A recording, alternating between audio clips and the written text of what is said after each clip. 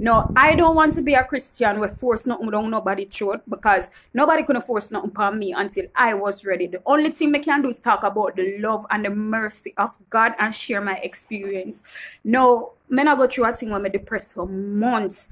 Um, usually I'm a social drinker, recreational drug user, and I find myself in a situation where the man them where they are run bar from sun people till night come down, not have no upon me. When you smell me, you smell a real rummed. I start smoke weed, which I used to smoke weed one long time ago. I'm stop and reach a point where I'm dependent on it.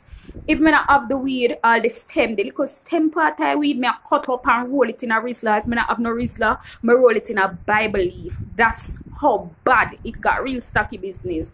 Rum, cigarettes, weed all day, every day.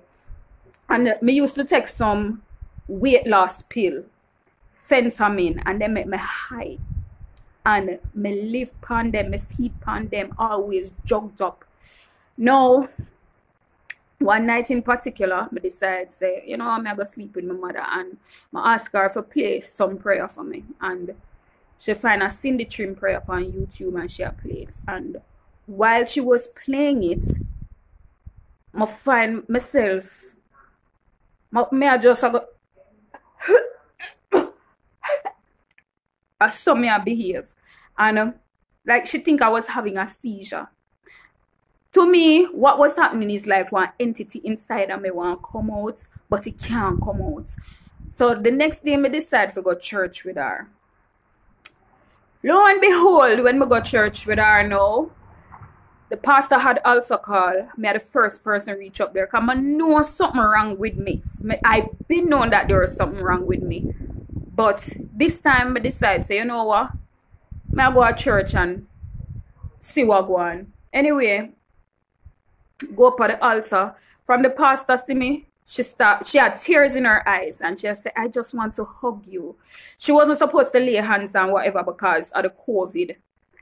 So she prayed and my drop on my butt. Then she walk, cause there was a fence there, and she walk come around the fence, and she start pray. She cause I, while she was still praying, when me fall and me dip on my butt, she was still praying, and the thing whatever was happening to me the night before, it still happened. Me a stiff up, and she come around and she a pray and she lay her hands on me, and me remember she a say, "Loose her."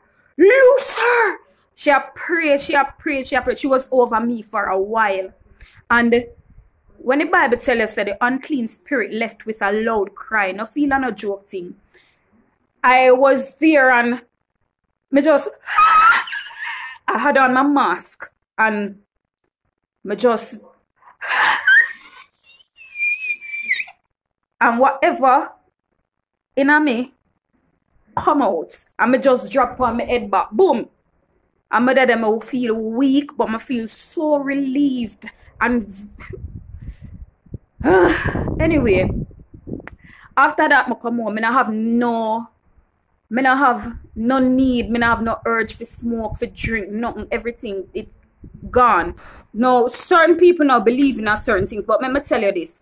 Ephesians 6 verse 12 tell us say we wrestle not against flesh and blood, but against principalities, against powers, against the rulers of darkness of this world, against spiritual wickedness in high places. Certain things, very real, but always remember this. Jehovah is there waiting him, having and stretch out, sir, and just a wait power with a wall on to it for help, with a pull me out of any situation that we are going through. So, no care what you are doing in life, always pray, always keep God close because nobody cannot convince me say God not real because I've experienced. I've been through a lot. These are just one of them. But two weeks after that, me decide to guess what? May I do the right thing. I'm gonna get baptized, which is about a month now. And there's nothing else left in this world right now more than for me to walk with God and give him my praise.